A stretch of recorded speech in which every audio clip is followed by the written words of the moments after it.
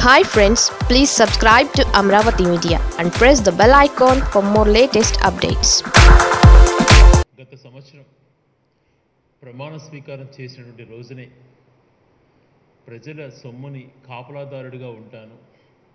ప్రజల సొమ్ము కాపాడే విషయంలో ఒక కాపలాదారుడిగా ఉంటానన్నటువంటి ముఖ్యమంత్రి ఎవరిని మనం చూసింటాం ఆ రోజు గౌరవ ముఖ్యమంత్రి గారు ఆ మాట చెప్పిన తర్వాత మొట్టమొదటి కాల్ కలెక్టర్ కాన్ఫరెన్సెస్లోనే ఒక ఇల్లీగల్గా నిబంధనలకు వ్యతిరేకంగా కట్టినటువంటి ఈ బంగ్లానే ఇక్కడి నుంచే స్టార్ట్ చేద్దాము అని చెప్పి తను మొదలు పెట్టడం జరిగింది అవినీతి పైన యుద్ధం. అధికార పార్టీలో అటెండర్ నుంచి మంత్రి వరకైనా గతంలో ప్రజల సొమ్ము ఎవరన్నా తినినా కక్కిస్తాము. ప్రజల సొమ్ము ప్రజల సొమ్ము ఒక్క రూపాయి వృధా కాకుండా చేసుకున్న బాధ్యత మాది అని చెప్పి చెప్పినటువంటి ముఖ్యమంత్రి గారు అదే స్టైల్లో పోలవరానికి సంబంధించినటువంటి టెండర్లో రెండు వేల రెండు వందల కోట్లు రివర్స్ టెండింగ్లో ఆదా చేయడమే కాకుండా వెలుగొండ టనల్ వెలుగొండ టనల్ టెండర్లో అయితేనేమి సోమశిల బ్యారేజ్ టెండర్లలో అయితేనేమి మిగిలినటువంటి అన్ని టెండర్లలో ఎన్ని అనేకమైనటువంటి టెండర్లలో రివర్స్ టెండర్కి దాకా ఎంతో ఆదా చేశారు. వంద కోట్లు దాటినటువంటి ఏ టెండర్ అయినా కూడా జ్యుడిషియల్ రివ్యూ ఉండాలా అని చెప్పి ఆన్లైన్లో పెట్టినటువంటి చరిత్ర ప్రపంచంలో ఎక్కడా కూడా ఉండేది. మరి ఇంత ట్రాన్స్పరెంట్గా చేస్తుంటే కూడా ఎక్కడ అభినందించకుండా ఇంత ట్రాన్స్పరెంట్గా తను చేస్తుంటే కూడా దాన్ని బాగా చేస్తున్నారు అటువంటి డిబేట్లలో కానీ లేకపోతే ఎక్కడ కూడా చర్చలు జరపకుండా తప్పు లేకుండా తప్పు చేసిన వాళ్ళని వెనక వెనక వేసుకొస్తున్నారు అని అంటే ఏమనాలో నిజంగా అర్థం కాదు. అవినీతి పైన చాలా కఠినంగా వ్యవహరిస్తుంది ప్రభుత్వం. అందులో భాగంగానే అన్ని గతంలో ఏమేమి అవినీతులు జరిగాయి అనే దానిపైన వెలికి తీస్తుంటే లేనిపోని రాద్ధాంతం చేస్తున్నారు. చంద్రబాబు నాయుడు హాయంలో పేరుకుపోయిన అవినీతి దోపిడీ అక్రమాలను తోడుతుంటే అవి బయటకు తీస్తుంటే ఎందుకు చంద్రబాబుకు అంత వణుకొస్తుందో అర్థం కాలేదు. తప్పు చేసిన వారికి పోలీసులు చూసినా భయం దర్యాప్తు సంస్థలు చూసినా భయం. తప్పు చేసిన వారే తప్పించుకునేందుకు సాకులు వెతుకుతూ ఉంటారు. కులం కార్డును వాడతారు. బురద జల్లే ప్రయత్నం చేసి తప్పించుకోవాలని చూస్తారు. ఎందుకు అని అంటే వాళ్ళు చేసిన అవినీతి వాళ్ళకు కూడా తెలుసు.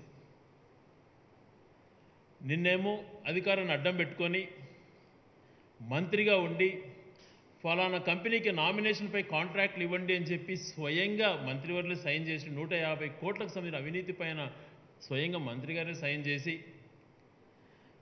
ఆ అవినీతి పైన చర్యలు చేపట్టబోతుంటే ఏదేదో మాట్లాడుతుంటారు. మరి ఈరోజేమో ట్రావెల్స్ పేరుతో ప్రజల ప్రాణాలతో చెలగాటమాడుతూ దొంగ ఎన్ఓసీలు అక్రమ వాహనాల్లో ప్రయాణికులను వాళ్ళ ప్రాణాలను గాలిలో కలిపేస్తున్నటువంటి దుర్మార్గులను అరెస్ట్ చేస్తే దాన్ని రాద్ధాంతం చేస్తారు. అక్రమార్కుని నిన్న అరెస్ట్ చేశారు. ఈరోజు అభినవ యముడు లాంటి జేసీ సోదరులు ఒకరైనటువంటి ప్రభాకర్ రెడ్డిని అరెస్ట్ చేస్తే ఎందుకు చంద్రబాబు నాయుడు గారికి ఏడుపు వస్తుందో అర్థం కావట్లేదు. అంటే చంద్రబాబు నాయుడు గారు అవినీతి పరులను అక్రమార్కులను అరెస్ట్ చేయవద్దు అన్నటువంటి మాట చెప్పదలుచుకున్నారా? అది పెద్దలు కొంతమంది ప్రశ్నించాలి తనని. అవినీతికి కులము అధికారం ఉంటుందా? ఎందుకైనా అవినీతి వాళ్ళపైన మాట్లాడుతుంటే కులాల కాటు తెస్తున్నా అర్థం కావట్లేదు. అధికారంలో ఉంటే ఏమి దోచుకున్నా పందికుక్కల ప్రజల సొమ్ము ఎంత తిన్నా వదిలేయమంటారా? సామాన్య ప్రజలకు ఒక రూలు ప్రజాప్రతినిధులకు ముఖ్యంగా టీడీపీ నేతలకు మరో రూలు ఏమైనా పెట్టాలంటుండేది ఏమైనా రాజ్యాంగంలో ఉందా? తప్పు చేసిన వాళ్ళని శిక్షిస్తే ఎందుకు ఈయనకి ఇంత బాధ? చంద్రబాబు నాయుడు గారు అవినీతి పనులు అక్రమార్కులు వెనకేసుకొస్తున్నాడు ఎందుకనంటే తన హయాంలో జరిగినటువంటి అన్నీ కూడా దోపిళ్ళే ఆ పాపాలలో తన వాటాదారుడు ఈ ఈ అవినీతి ఏదైతే జరిగిందో ఆ అవినీతులలో చంద్రబాబు నాయుడు గారి గారు వాటా ఉంటుంది అని చెప్పి ఆంధ్రప్రదేశ్లో ఏ చిన్న పిల్లవాడిని అడిగినా చెప్తారు. ఈ అక్రమాలు తరే కారణం అన్నటువంటిది తనకు తెలుసు. తన ప్రభుత్వ హయాంలో ఈ స్కామ్లు అన్నీ జరిగినాయని చే ఆయన కూడా ఆయనకు తెలుసు.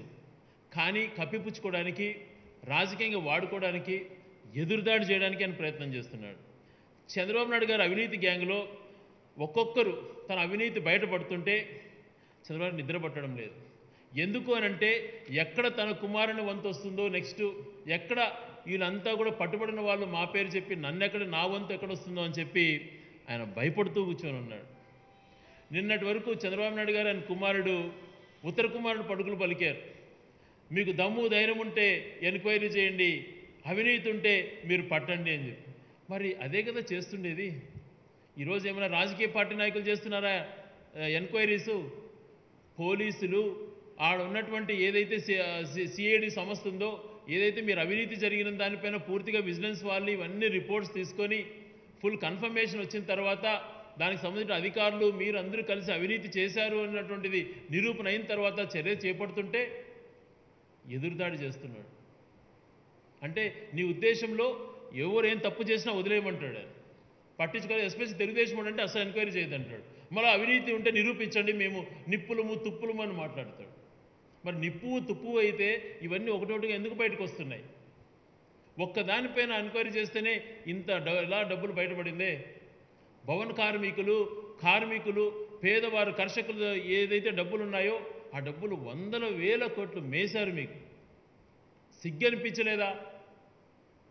ఆ డబ్బులు ఇష్టం వచ్చినట్టు పంది కుక్కలు తిని మళ్ళీ ఈరోజు ఎదురుదాడి చేస్తున్నారు. అవినీతి చేసినటువంటి వాళ్ళు వీళ్ళు అని చెప్పి ప్ర- నిరూపిస్తే దాన్ని రాజకీయంగా వాడుకోవాలని చూస్తారు.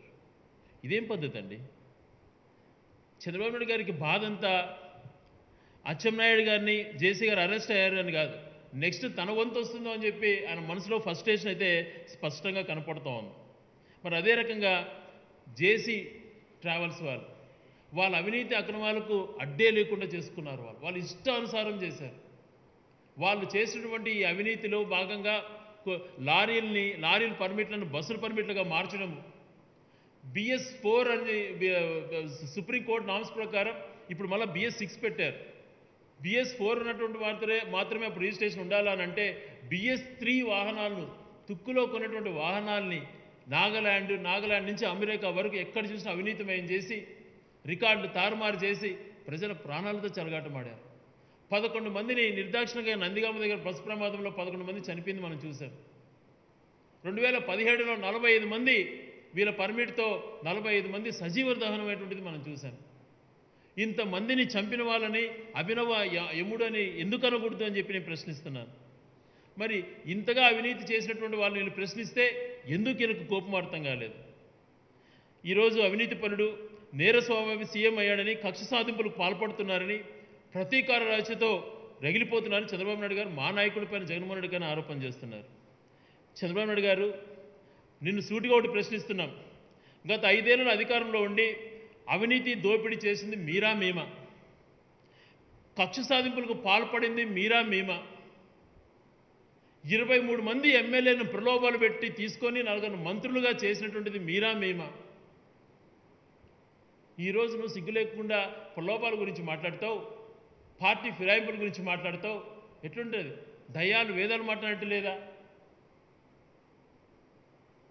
నువ్వు స్పష్టంగా అవినీతిమయం చేసేసావు రాష్ట్రాన్ని సర్వనాశనం చేసావు. అందులో భాగంగానే ఈరోజు ఒక్కొక్క అవినీతి పరుని ఏరిపడాలనే లక్ష్యంతో అది అధికార పార్టీ వాడైనా గతంలో తప్పులు చేసిన వాళ్ళైనా ఎవరైనా ఒకటే అవినీతి విషయంలో కఠినంగా వ్యవహరిస్తుంది ప్రభుత్వం అటువంటిది మీరు తీసుకోవాలి. మీరు మీ ఉద్దేశాలు ఇప్పుడు మేము కక్ష సాధింపు చేస్తున్నామన్నటువంటి మాటలు మీరు మాట్లాడుతున్నారు కదా? వ్యక్తులపైన కానీ ఎవరిపైన ఈ ప్రభుత్వానికి ఎవరిపైన వ్యక్తిగతంగా ద్వేషాలు ఉండవు ఈ ప్రభుత్వ ఉద్దేశం కేవలం ప్రజాసొమ్ము కాపాడటంలో లక్ష్యంగా మేము పనిచేస్తున్నాం. మీరు ఆ రకంగా అనుకుంటే అవినీతిపై మాది కక్ష సాధింపే. అవినీతి పైన మీ పైన కాదు అవినీతి పైన మనుషుల పైన కాదు. దోపిడి పైన మాది కక్ష సాధింపే దోపిడి చేసే వాళ్ళ పైన. అక్రమాల పైన మాది కక్ష సాధింపే. మీరు అలాగా వ్యక్తిగతంగా అంటున్నారు కదా మాకు వ్యక్తిగతంగా కాదు. ఎవరైతే అవినీతి కానీ దోపిడి కానీ అక్రమాలు చేశారో ఆ అక్రమాల అక్రమాల దానిపైన కఠినంగా వివరించేటువంటిది గ్యారంటీగా చేస్తాం. వాటిపైన ఖచ్చితంగా మేము గట్టిగానే ఉంటామంటువంటిది చెప్పదలుచుకున్నాను. చంద్రబాబు నాయుడు తన జీవితం బతుకంతా కూడా వ్యవస్థను మేనేజ్ చేయడం ఉంటుంది మనకందరికీ తెలుసు. వ్యవస్థల్ని సర్వనాశనం చేశాడు. చేయడం కాకుండా సిగ్గు లేకుండా తనను తను రక్షించుకోవడం కోసం ఏవేవో డ్రామాలు ఆడుతుంటాడు. ఎలా తప్పుదోవ పట్టించాలి ఎలాగ ఇంకో ట్యూన్ చేసుకోవాలి అటువంటి మాటలు మాట్లాడుతుంటాడు. ఈ రాష్ట్రంలో కానీ దేశంలో కానీ ఎక్కువ అవినీతి చేసినటువంటి నాయకుడు ఎవరు ఉన్నారంటే అది చంద్రబాబు నాయుడు గారే. మేనేజ్డ్ పాలిటిక్స్ ఎంతసేపు ప్రజలలో అభిమానం పొందాలన్నటువంటి ఆలోచన తనకు ఉండదు ఆ అభిమానాన్ని కూడా ఎలాగ మేనేజ్ చేయాలి ఎలాగ కొనుక్కోవాలి ఎలాగ మ్యానిపులేట్ చేయాలి అన్నటువంటి నీచంగా ఆలోచన చేస్తుంటాడు. పోలీస్ వాళ్ళు తమ ఫార్మాలిటీస్ ప్రకారం వెళ్ళి ఏదైతే నిరూపణ అయిన తర్వాత స్పీకర్ గారి పర్మిషన్ తీసుకొని చట్టపరంగా చర్యలు చేపడితే అరెస్ట్ చేస్తే కిడ్నాప్ అంటాం నీ ఉద్దేశంలో దోపిడీదారులను కానీ మర్డరర్లను కానీ రేపిస్ట్ను కానీ ఎవరైనా అరెస్ట్ చేస్తే ఇంకా ఆ వర్తాన్ని మార్చేస్తావు కదా చంద్రబాబు నాయుడు గారు మీరు. అందరూ కూడా ఇంకా ఇది అరెస్ట్ కాదు కిడ్నాప్ అంటారు ఇక. పోలీసులు అరెస్ట్ చేస్తే వాళ్ళు ఫార్మాలిటీస్గా టోటల్గా లీగల్గా పోతే దాన్ని అరెస్ట్ అంటావు. ఏం మాట్లాడను నీతో? ఇతను అవినీతిని ప్రోత్సహించి తన యొక్క ఇమేజ్ని పెంచుకోవడం కోసము పార్టీల్ని ఫిరాయింపులు చేసుకోవడం కోసము ఇష్టం వచ్చినట్టు అవినీతి చేసి ఈరోజు దాన్ని మళ్ళా కక్ష సాధింపులు ప్రతీకారోచనలు అంటున్నాడు. ఆరు లక్షల కోట్లు అవినీతిమయం చేసామని చెప్పి మేము చెప్పాం. ఆరు రూపాయలు నిరూపించలేదని మీరు మాట్లాడారు నిన్న. మరి ఇవంతా ఒకటొకటిగా చేస్తుంటే ఎందుకు మీకు ఎంత బాధ? మీరే కదా సవాల్ విసిరారు. దమ్ముంటే ఎంక్వైరీ చేయండి దమ్ముంటే మా అవినీతి బయట పెట్టండి. మరి అవినీతి బయట పెడితే మరి ఈ రకంగా మాట్లాడతావు ఎందుకు నువ్వు? అంటే నీ ఉద్దేశంలో ఎవరై అవినీతి చేసినటువంటి వాళ్ళని ప్రశ్నించకూడదు అంటున్నదా నీ ఉద్దేశం? వదిలేయాలంటువంటిదా మరి అలాంటి టైంలో సామాన్యుడికి ఒక న్యాయము మీకు ఒక న్యాయం ఎందుకు ఉంటుంది? ఈ ప్రభుత్వ విషయంలో సామాన్యుడైనా ఎవరైనా ఎంత పెద్ద విఐపి అయినా ఒకటే. అవినీతి చేసిన వాడిని ఎవరిని వదిలే ప్రశ్నే ఉండదు ప్రసక్తే ఉండదు. ప్రజల సొమ్మును కాపాడే విషయంలో నూటికి నూరు శాతం ఉంటాం. నీ హాయంలో ఒకటే రెండా దోపిళ్ళు. ఎలక పేరుతో దోపిడే. దోమ పైన యుద్ధం అని చెప్పి దోపిడే. దోమానికింత ఎలకకింత ప్రతి విషయంలో బొగ్గు దగ్గర నుంచి ఇసుక నుంచి బొగ్గు వరకు ప్రతి దాంట్లో అవినీతే. దోచి దోచిన సొమ్ముని దోచారు దోచిపెట్టుకున్నారు మీరు. మీరు ఈరోజు ఆ దోచుకున్నారు కాబట్టి ఆ ఎంక్వైరీలో కొన్ని ఎంక్వైరీస్లో బయటకు వస్తే తట్టుకోలేకపోతున్నారు. మా పైన బురద చల్లేటువంటి కార్యక్రమం చేస్తున్నారు. మరి మేము చేసినటువంటిది ఈ సంవత్సరంలో ఎందుకు మీ హాయంలో టెండర్లలో వందల వేల కోట్లు ఎందుకు మిగిల్చాం? మేము అవినీతి చేసేవాళ్ళం అయితే అలా ఉంటుందా? ఈరోజు విశాఖపట్నం భోగాపురం ఎయిర్పోర్ట్లో కూడా ఎందుకు పదహేను పదహైదు వందల నుంచి రెండు వేల కోట్ల పైన సేవ్ చేశాడు జగన్మోహన్ రెడ్డి గారు. ఇది ప్రజలకు సంబంధించింది కదా. మీకు ధైర్యం లేదు అప్రిషియేట్ చేయడం. తప్పు చేశారని సిగ్గుపడకుండా మళ్ళీ ఎదురుదాడి చేస్తున్నారు మీరు. నూటికి నూరు శాతం ఈ ప్రభుత్వం వ్యక్తులపైన కానీ ఇంకొకరిపైన కానీ కక్షలు సాధించే ఉద్దేశం ఎప్పుడూ ఉండదు. సమాజంలో ఎవరు తప్పు చేసినా ప్రజ అవినీతి పైన కానీ ఇంకొక దానిపైన ఎవరైనా తప్పు చేస్తే ఆ తప్పు నిరూపణ అయితే ఎటువంటి వారినైనా వదిలే ప్రశ్నే ఉండదు. సిగ్గు లేకుండా కులాల కార్డులు వాడుతూ ఉన్నావు. నీ ఎంతకు నువ్వు కానీ చెప్పావు ఎవరైనా ఎస్సీ ఎస్సీలలో పుట్టాలని అనుకుంటారా అని చెప్పి. నీ ఎంతకు నువ్వే చెప్పావు బీసీలు పెద్ద పోస్టులకు పనికిరాని వాళ్ళకి మైండ్ సరిగా ఉండదని చెప్పి నువ్వు మాట్లాడావు చంద్రబాబు నాయుడు గారు. గుర్తుపెట్టుకోవన్నీ ఈరోజు ఏదో ఇంకో దానికోసమో మాట మార్చి సింపతి కొట్టడానికి ప్రయత్నం చేస్తే ఎవరు నిన్ను నమ్మరు. సంక్షేమ విషయంలో జగన్మోహన్ రెడ్డి లాగా ఎవరు చేసిన వ్యక్తులు ఎవరు కూడా ఉండరు.